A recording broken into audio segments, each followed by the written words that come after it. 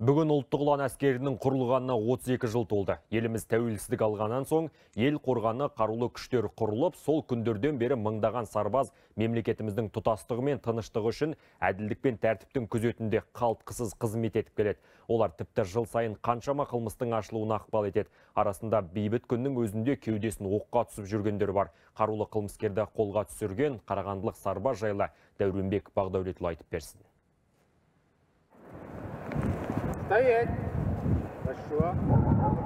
Сидеть. Хорошо, молодец. азамат имаштың әскер сапында қызмет етіп жүргеніне биыл 6 жыл болды жақында ғана шаңырақ көтерген оның қызметінде де оң өзгеріс бар бірер ай бұрын әскери бөлімнің кинология қызметінің бастығы болып тағайындалған жеті қазынаның бірі саналатын серігінің тілін жақсы ұғынатын сарбаз өткен жылдың аяғында әйелін аяусыз ұрып соғып қолын сындырып одан кейін көшедегілерге қауіп төндірген қылмыскерді ұстаған қызметтік итті қолдану арқылы, арқылы қылмыскерді ұстадық және полиция бөлімшесіне хабарлама жібердік. Яғни полиция бөлімшесі келіп, келіп оны тұтқынға алып және полиция бөліміне алып кетті. Тінту кезінде одан не анықталды сосын? Тінту кезінде одан қару жарақ қару жарақ анықталды. Қандай қару жарақ? Пистолет револьвер.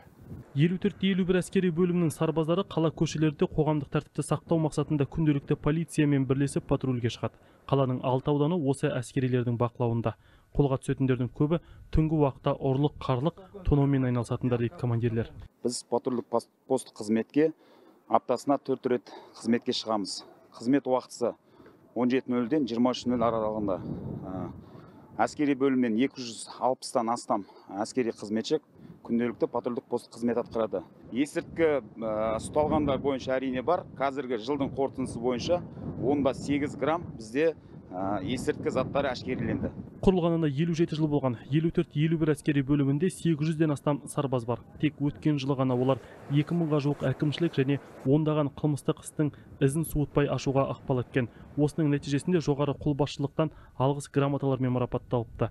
Бейбіт күнде өжеттігімен көзге түскен облыстағы ондаған әскеридің ерлігі қатарға енді қосылғандарға ерліктің асқақ үлгісі болып қала бермек.